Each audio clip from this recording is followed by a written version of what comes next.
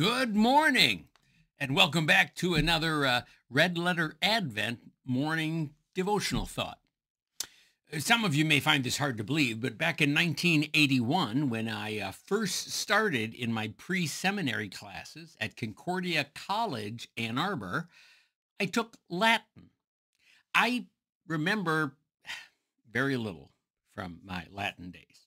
Uh, there's a phrase that will always stick with me, uh, although it has very little use. As wise as the statement is, uh, there's not a lot of context for me to ever use it.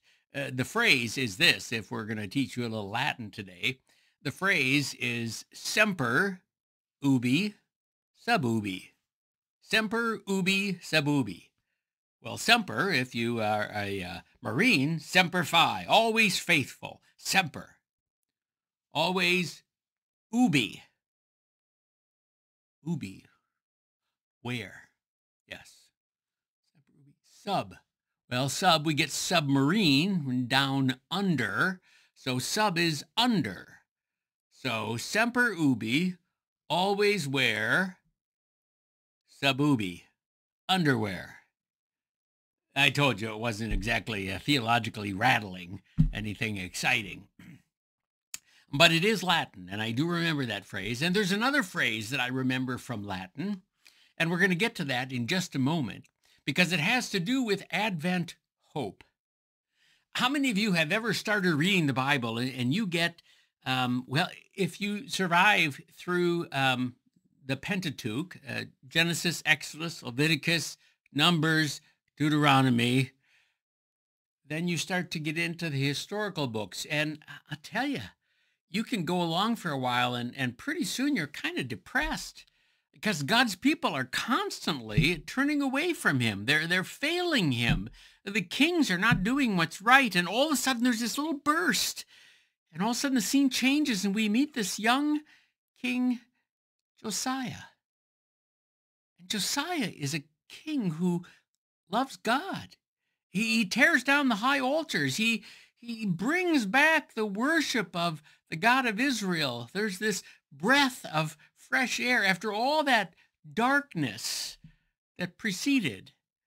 Well, uh, the Latin phrase that comes to mind, which was a rally cry of the Reformation as well, is post tenebras lux.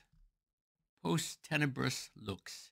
After darkness, light. That's what King Josiah brought. After the darkness, he brought light, although his light was short lived and darkness returned.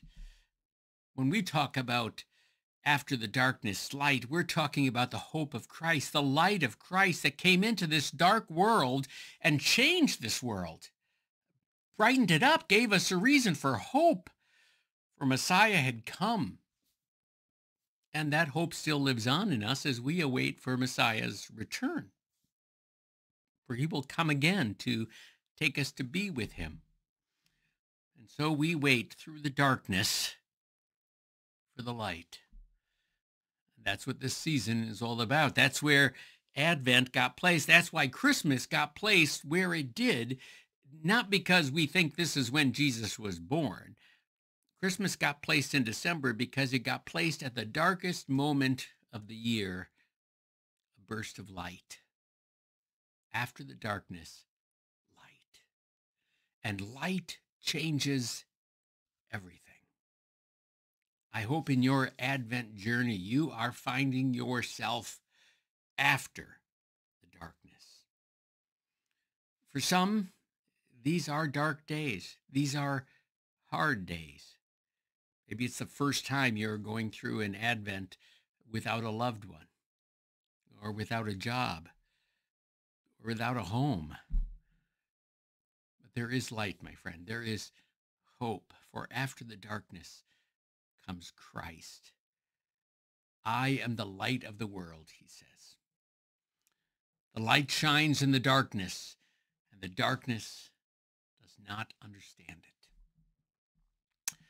Well, I pray that we are together pushing back the darkness just a little bit to reveal that light of Christ, that light that comes that gives us hope in the midst of this season of Advent. And I hope that you find hope in this season as we continue to unbox hope on this day five of our Advent challenge. Join us tomorrow. I bet you know what day it will be. It will be day six. Thanks for joining us.